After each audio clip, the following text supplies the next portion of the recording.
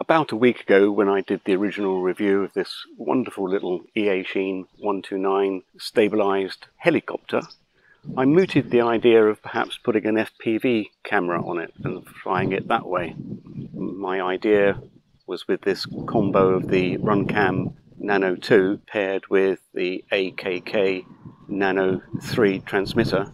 This has two output levels, 200 milliwatts, where I should be using it at just the 25 milliwatts to conserve the power. And I made up a little lead to connect to a spare connector inside.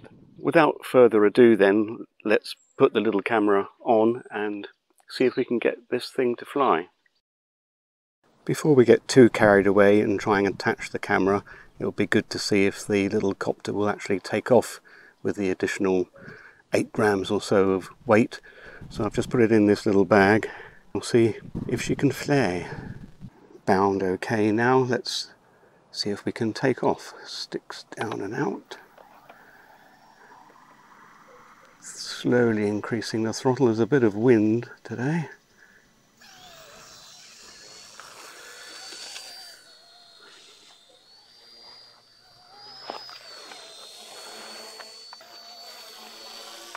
But you should be able to see there that uh,